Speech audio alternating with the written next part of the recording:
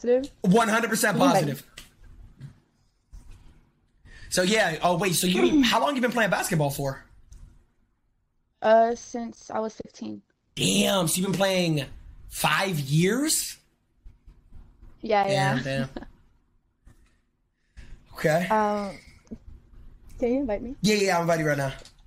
So, like, are you good at uh, Siege or not really?